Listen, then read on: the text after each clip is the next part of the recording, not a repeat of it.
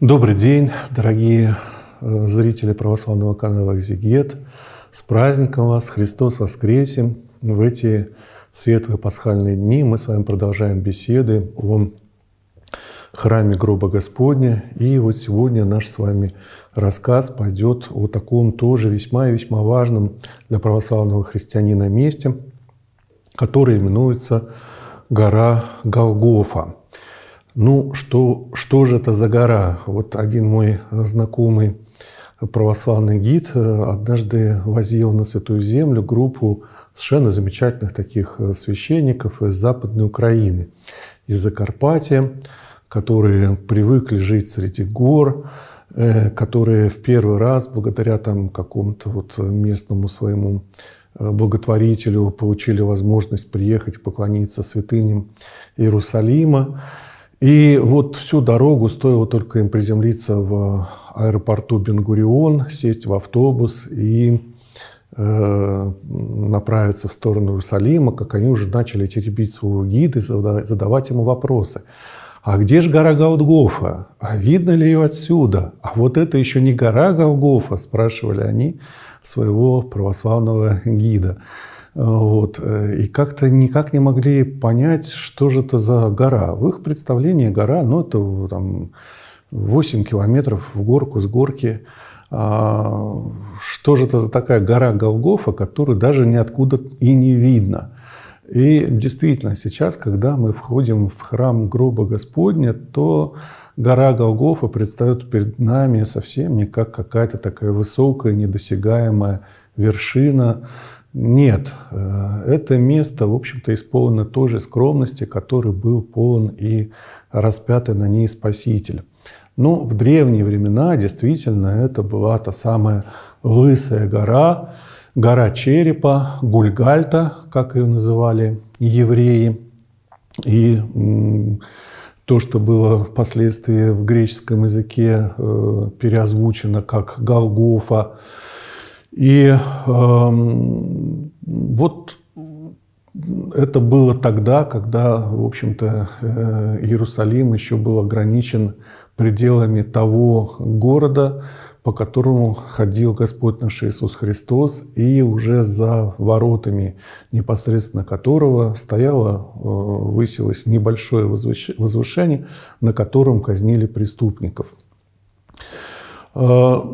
Э, Впоследствии, когда святая царица Елена возводила, строила здесь храм, вернее сказать, храмовый комплекс, посвященный всем вот этим священным для христиан событиям, э, Голгофа получила статус такого отдельного совершенно храма. То есть вот в этом комплексе из трех храмов и большого количества каких-то таких менее значительных часовен – Э, Голгофа – это э, был храм, который назывался Мартирион, свидетельство или мученичество.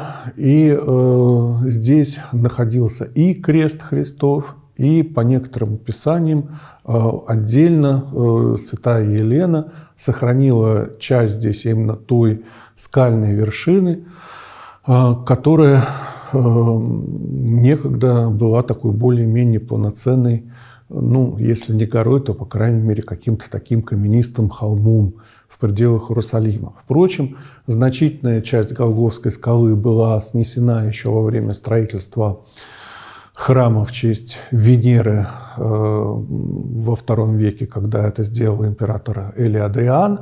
Ну, а остальную часть для того, чтобы как-то вместить эту дикую, скальную, гордую, горную породу в пределы э, устрояемого ею святилища, вынуждена была уже как-то ну, облагородить и, соответственно, частично снести, частично обтесать. И святая равноапостольная Елена, вернее, те э, строители, которые выполняли свои работы под ее Э, так сказать, духовным каким-то руководством, ну и под более таким непосредственным, что ли, техническим руководством э, местного правителя, имя которого звучит несколько странно, может быть, для современного уха, которого звали Дракелианус, согласно свидетельству церковного э, деятеля и историка Евсевия, архиепископа Кесарийского. Итак, э, гора Голгофа – это совсем, или не совсем, по крайней мере, та гора, которая рисуется в представлении человека, может быть, готового действительно встретить гору, ну или, по крайней мере, некоторую возвышенность. То, что сейчас мы называем, то, чем мы поклоняемся как Святой Голгофе, это все-таки больше архитектурное такое какое-то сооружение, это возвышение, которое находится при входе непосредственно в храм Господень, храм гроба Господня с правой стороны. На современную Голгофу сейчас ведут две лесенки. Одна вот непосредственно прямо как входишь, так сразу направо ведут такие довольно эм, крутые э, ступеньки, а другая э, лесенка ведет на вершину Голгофы с северной стороны. Сейчас Голгоф это скорее такой каменный помост, но в основании которого все-таки сохранилась еще подлинная, настоящая каменная, вот эта скалистая скальная порода, в которой когда-то и были установлены три креста Спасителя. Сейчас современная Голгофа разделена на две части, на два предела – в одной части, э, основная, собственно, часть Голгофы принадлежит православным грекам Иерусалимского патриархата. Э, здесь как раз-таки и стоит престол, которому по ну, принятым в Иерусалимской церкви традиции могут в, вовне богослужебное время прикладываться любые паломники, любого даже и вероисповедания, уж не говоря национальности – но обычно православные христиане, да и не только они, встают на колени для того, чтобы поклониться тому месту, которое находится непосредственно под этим престолом. Там э, такую вот э, э, серебряной чеканной звездой, вот таким вот кругом из серебра отмечено место, где, как там написано на греческом языке и на латыни, стоял крест Христов и где совершилось спасение всего нашего мира. Вот к этой святыне, к этому, ну, отчасти символическому, но от этого не теряющему своего духовного значения месту прикладываются сейчас христиане. И здесь, на Святой Голгофе, совершается богослужение э, православной э, греческой церкви, ну, по крайней мере, в те моменты, когда устав Иерусалимской патриархии предписывает совершение литургии не на гробе Господнем, а непосредственно на Голгофе. Это в первую очередь все праздники, так или иначе связанные с крестом. Это службы, совершаемые в пятницу и в среду, и также еще определенные периоды, э, в которые типик Иерусалимской церкви предписывает совершать литургию именно на Голгофе. Э, когда-то э, Голгофа принадлежала вот во времена всевозможных разделявших христиан смут и католикам, и достаточно долгий период времени находилась в руках православных грузин. Но э, в то время, кстати говоря, от того времени даже сохранилась весьма примечательная такая Э, кафедра, которая когда-то стояла на Голгофе и которая потом была перенесена в храм святого Иакова Иерусалимского, о котором мы скажем в какой-то другой из наших бесед, и где даже сохранились надписи на грузинском языке. А, но вот после установления статуса КВО и после пожара 1808 года Э, вот эта основная часть Голгофы окончательно перешла в руки православных христиан. Э, архитектор Николай Камнин перестроил Голгофу так, что она стала несколько шире. Он пристроил к ней вот э, определенные части, которые опоясывают ее с запада и с э, северной стороны. И таким образом пространство Голгофы стало несколько шире, ну и вообще она в значительной степени была перестроена. К сожалению, этот же пожар уничтожил и совершенно великолепные росписи, и те прекраснейшие совершенно мозаики, которыми была украшена святая Голгофа во времена обладания ею крестоносцев – византийские мастера выполнили для крестоносских королей в XII веке эту совершенно необычайную по художественным качествам мозаику с византийской иконографией, но при этом с подписями на латинском языке, на латыни. Э, как, собственно, это и э, практиковалось в основном при э, выполнении тех заказов, которые делали латинские короли Иерусалимского королевства для украшения каких-то святых мест и храмов, которые они, они возводили на территории своего государства. От этих великолепных совершенно фресок остался совсем-совсем маленький, небольшой такой фрагмент – Э, такая мандорова, так называемая. Мандорова – это в переводе с итальянского «миндалина». Это такая вот э, вытянутая сфера, в которой помещена фигура Вознесения Господа нашего Иисуса Христа. Если вы отойдете э, от православной части Голгофы в южную часть, которая принадлежит католикам, это католический предел или католическая Голгофа, встаньте прямо посреди этой католической Голгофы и поднимите голову кверху, то прямо над собой в центре свода вы э, увидите элемент вот этой древней византийско-крестоносской мозаики, Э, которая изображает вознесение Господа нашего Иисуса Христа. Она довольно искусно вделана в те мозаики, которыми были украшены своды уже во время э, тех поновлений, которые, которые были произведены католиками уже в 20 веке. Голгофа тогда была переустроена, и а, ее католическая часть была благоустроена под руководством замечательного Э, итальянского архитектора Антония Барлуци, того самого, который весьма много потрудился на Святой Земле и, надо сказать, отличался весьма прекрасным вкусом. И э, вот э, то, что делал, старался все-таки делать в такой, ну, вот какой-то исторической традиции, сохраняя достаточно бережно и благоговейно художественное наследие э, и эстетические принципы искусства Святой Земли. Но, тем не менее, конечно, все-таки видно по этим современным мозаикам и росписям, что это новодел. Что же касается тех фресок, которыми э, украшена э, греческая часть э, Голгофы, то это греческое письмо середины XIX века и, конечно, не самого, к сожалению, лучшего, лучшего качества, а зачастую еще и достаточно такое закопченное. Древний крест, который когда-то стоял на Голгофе который был вынесен оттуда во время пожара 1808 года, кстати говоря, сохранился и находится в храме э, монастыря э, мужей галилейских Малой Галилеи на Илионской горе, на вершине Илионской горе. Если кто-то заинтересуется, вы можете посмотреть наш цикл бесед о святынях православного Илиона. И вот как раз-таки там мы тоже упоминаем об э, этом изображении распятия с Голгофы, которое теперь украшает алтарь храма Воскресения Христова в Малой Галилее, такой ну, некогда загородной резиденции иерусалимских православных патриархов.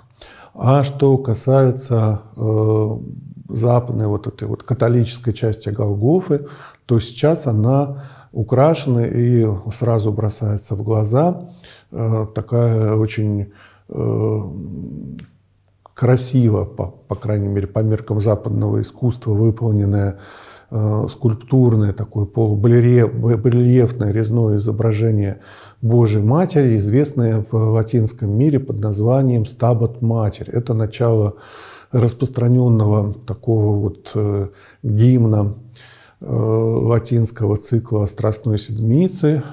По первым словам «Стояла Матерь», гимна, посвященного скорби Пресвятой Богородицы у креста. И сейчас она занимает Э, свое место с правой стороны от э, места распятия Господа Иисуса Христа. Э, это примечательное изображение было когда-то подарено на Голгофу в XVIII веке португальской э, королевой Марии I, а престол, э, на котором она установлена, был привезен и установлен на Голгофе в XVI веке герцогом Фердинандом Тосканским. И на самом деле множество вот таких каких-то деталей и черт, которые э, отражают э, многовековые и э, относящиеся к разным народам и традициям вклады и знаки почитания с этих мест, которые направлялись сюда.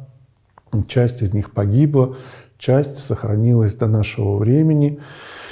И э, все эти предметы должны были так или иначе выразить благоговение э, христиан э, всего мира перед э, тем великим событием, которое совершилось на Святой Голгофе. Но для нас с вами, может быть, намного более примечательным являются не какие-то вот такие внешние украшения Голгофы, сколько та ее часть, которая сейчас скрыта под стеклом, но вполне доступна взору.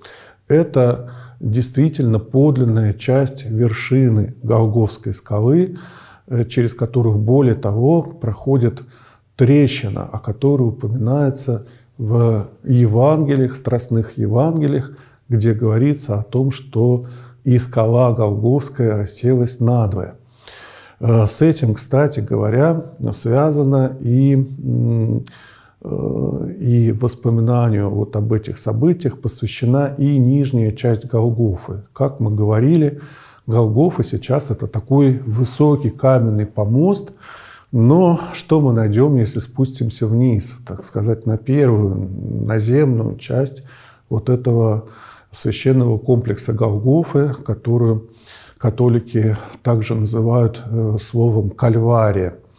Итак, э, спустившись вниз, мы обнаружим проход, который ведет под ну, вот такую вот южную часть Голгофы, и в ней находится небольшая и практически лишенная каких-либо украшений э, часовня Адама.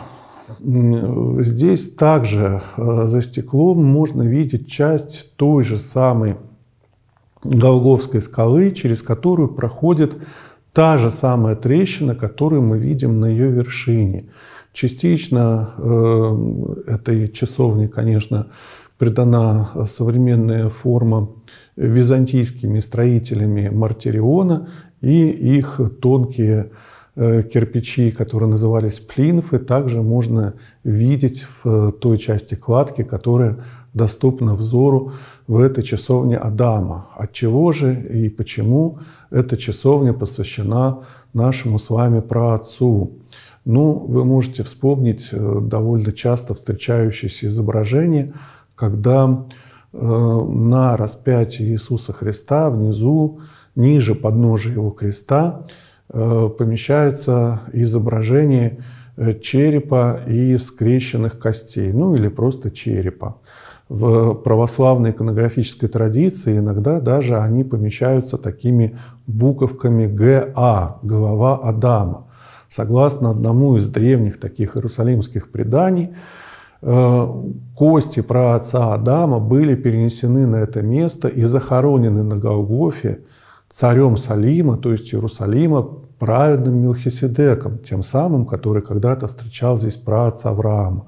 Сделано это по особому такому внушению Божию, как сообщают иерусалимские предания, э, потому что провидел э, то, что на этом месте произойдет. И когда э, Господь наш Иисус Христос был распят, Голговская вершина рассеялась на части, и кровь Спасителя омыла кости праотца Адама, таким образом смыв с прародителей человечества тяготевший над ними вот тот самый первородный грех, грех, совершенный когда-то еще в раю и сделавшийся причиной изгнания из рая человеческого рода и его последующих, последующих заключений и страданий вплоть до искупления э, человека и потомков Адама и Евы Господом нашим Иисусом Христом.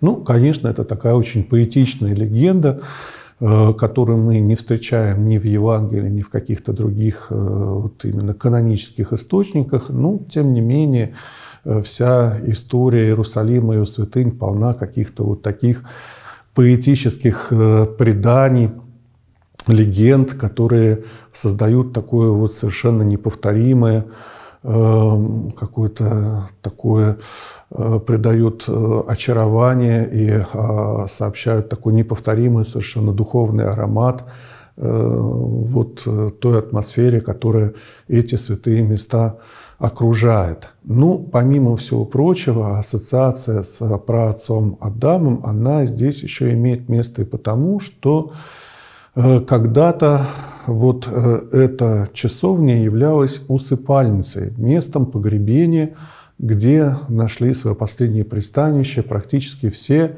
иерусалимские короли эпохи крестоносцев. Здесь были погребены и э, Готфрид Бульонский, и Балдуин I, и Балдуин II.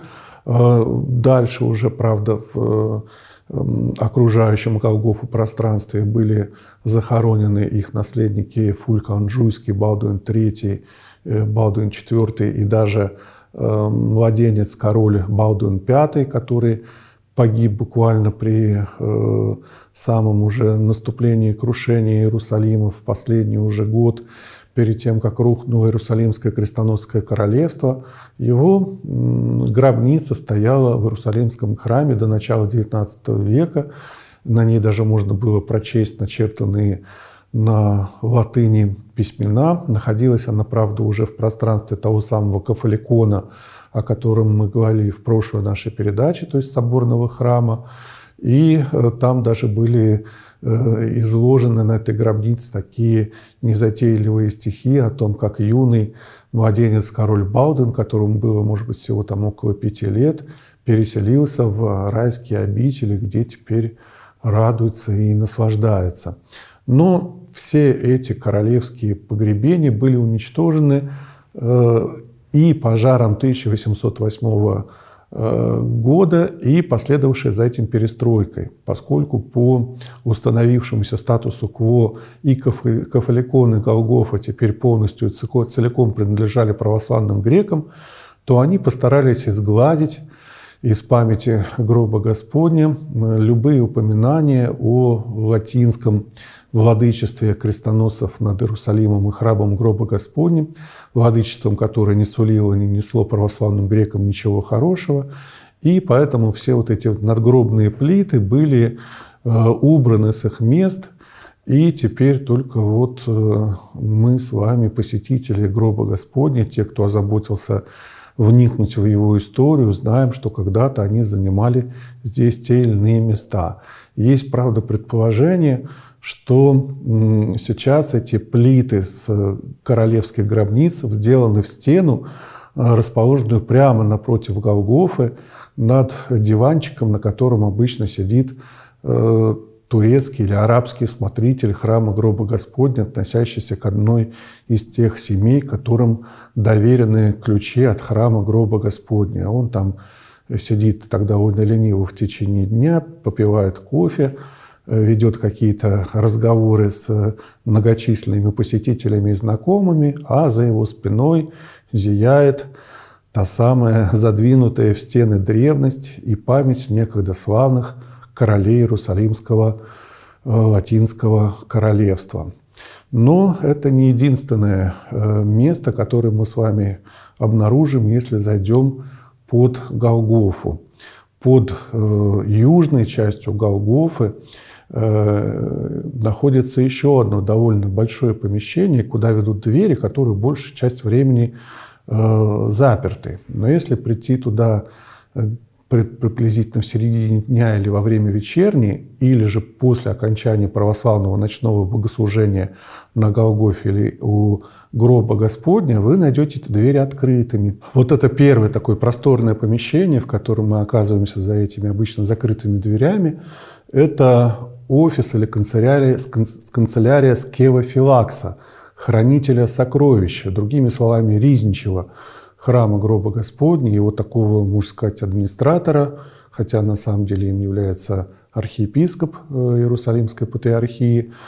Но чаще всего там сидит какой-нибудь простой монах, который принимает записки у посетителей. Э, у него можно, кстати говоря, заказать литургию на гробе Господнем, и тогда вы будете допущены до этого богослужения, и по вашему заказу, ну, за определенное пожертвование, э, о вас и ваших родных э, непосредственно на гробе Господнем какой-то из архиереев Иерусалимской патриархии отслужит вот такое персональное богослужение, на которое будете допущены вы, ну и все остальные, кто пожелает на это богослужение прийти. Э, здесь после эм, ночного богослужения вы можете подкрепить свои силы чашечкой кофе там, или э, холодной воды хотя бы. Здесь вас могут угостить какими-то сладостями. Э, многие посетители храма гроба Господня просто об этом не знают.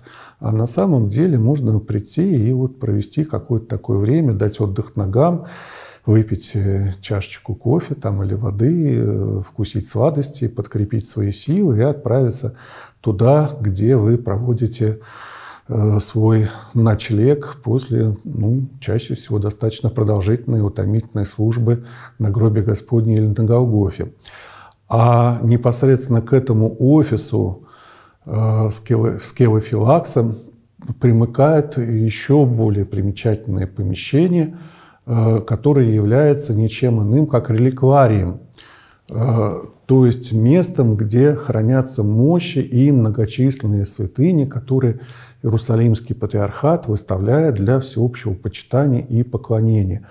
Сразу же, в первую очередь, вас встречает э, икона святых равноапостольных императоров Константина и Елены, стоящих рядом с крестом, э, составленным из подлинного древа креста Христова. Это та частица Э, креста Господа нашего Иисуса Христа, на котором Он был распят, которая сохранилась в Иерусалимской церкви и которая э, выставляется ею для ежедневного поклонения и почитания. Есть другие еще более крупные частицы, но они хранятся в особом месте и выносятся только в такие Э, ну, наиболее важные празднования креста для всеобщего поклонения.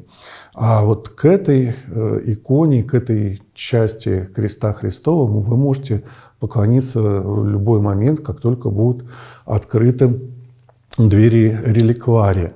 Дальше по э, всему периметру стен расположены витрины, в которых ну, просто какое-то неисчислимое, непередаваемое количество святынь выложено всевозможных святых, среди которых, например, э, целиком хранится глава преподобного Феодосия Великого Киновиарха, а также мощи ну, просто огромного количества самых разных э, святых как древности, так и уже относительно недавних дней, облегчает э, молитвенное поклонение им то, что еще в XIX веке над каждой святыней размещена на особой такой табличке, э, вделанной в стену, э, надпись, которая говорит о том, кому именно принадлежат э, эти мощи, эти святыни.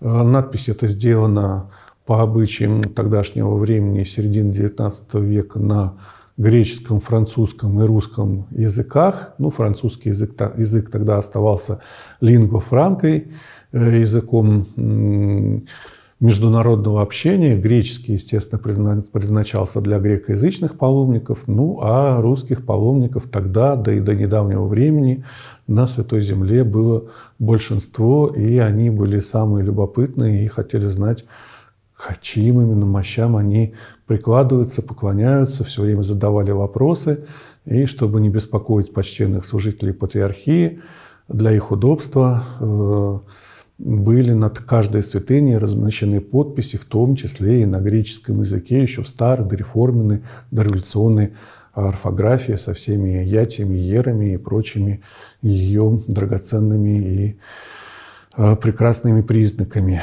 Итак, вы попадаете вот в это удивительное совершенно место, как такой цветник святыни. И Голгофа дарит вам сразу множество таких необычайно важных и богатых воспоминаний и переживаний. Вы можете перечесть главы Святого Евангелия, посвященного страстям Христовым, которые особенно проникновенно воспринимаются на вершине вот этой Голговской горы, которая, как мы говорили, сейчас уже не совсем гора, а скорее а такая особая часть храма. Вы можете вспомнить про отца Адама под его э, сводами, под сводами часовни Адама. Э, можете припомнить иерусалимских королей, если они придут вам на память. Э, тоже были личности в определенных смыслах примечательные и окунуться вот в эту совершенно священную, благоуханную, в то же время уютную атмосферу офиса патриархии и реликвария, в котором э, вашему благоговейному поклонению предоставлено такое множество святынь. И э, такая возможность помянуть э, святых, чьим мощам вы Э, поклоняетесь э, в своих молитвах, вспомнить их житие и лишний раз порадовать свою душу э, общением с величайшими праведниками всех веков христианства, честные святые останки которых заботливо собраны здесь, под горой Голгофой, непосредственно в близости от вот такого символического погребения главы Адама, под как бы подножием того самого креста, на котором за них и за нас всех распялся Господь наш Иисус Христос, и всех, и святых, и грешников ныне зовет за собой в Царствие Своего светлого воскресения, в Царствие Небесное. Христос воскресе с праздником, дорогие зрители православного канала «Экзегет». Ну а о других каких-то таких примечательных уголках и святынях – Иерусалимского храма воскресения мы с вами побеседуем, даст Бог, в наших следующих э, встречах, в других выпусках наших бесед. Внеси свой вклад, оцени, подпишись и поделись этим видео.